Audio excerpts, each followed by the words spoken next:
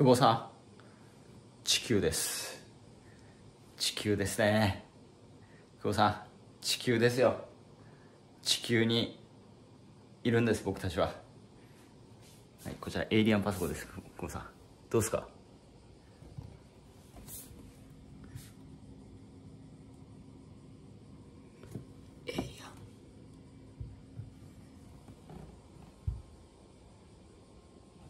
インテル。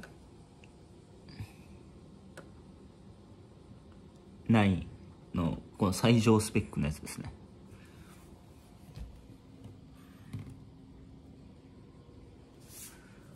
やっぱでかいですね。これはこれこっちが前のパソコンなんですけど。これ 全然でかい。めちゃくちゃでかい。ほら。でけえな。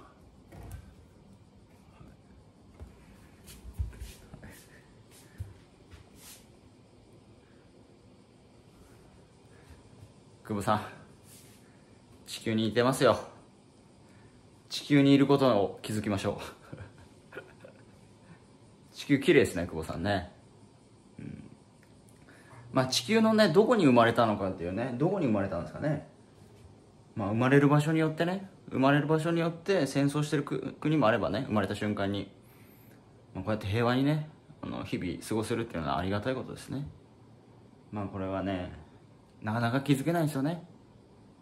これもね。どこで見るかですよね。この中で見るとこの中で見ると、まあ、気づけないんだけどこの外から見るとね。外から見るとあ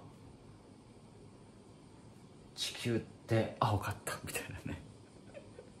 まあどこでどっから見るかによって気づき発見は全然違うってことですね。うん。いやーこれいいっすねなんか貫禄があります。久保さん。ゲーミングゲームしないけどゲーミングマシンっていうね。ゲーム全くしないですけど。ゲーミングマシンっていう。これはねこれはかっこいいっすね。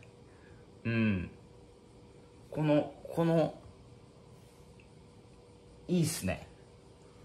うん。もうなんか大黒柱感がめちゃくちゃ出てる。すごい。これすごないですか？ち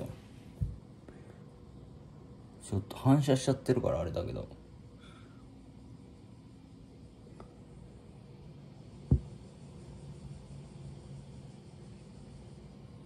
すごいっすよねなんか。綺麗。